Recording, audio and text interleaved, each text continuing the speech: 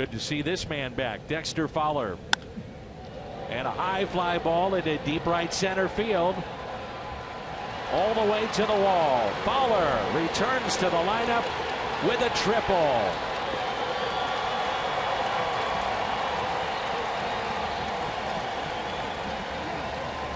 It's not unusual for Fowler to hit triples, is it? Nope.